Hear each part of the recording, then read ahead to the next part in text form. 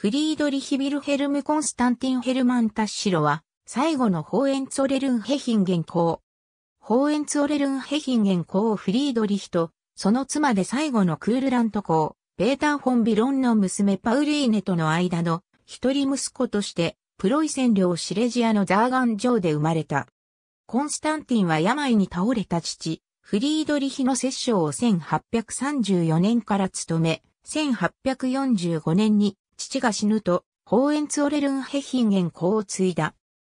1848年革命発生後の1849年12月7日、コンスタンティンは、ホーエンツォレルンジグマリンゲン公カール・アントンと共に、自分たちの支配する公国がプロイセン王国に併合されることに同意し、両方君主としての地位を放棄した。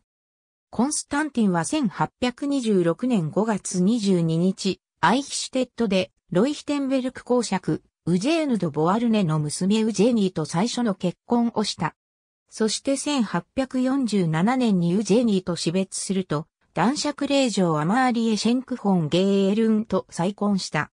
この再婚は、寄戦結婚であったため、公妃を名乗ることを許されないアマーリエには、プロイセン王、フリードリヒ・ビルヘルム4世から、ローテンブルク伯爵夫人の称号が授けられた。コンスタンティンは1869年、シレジアのグリュンベルクに所有するネト公の上官で没した。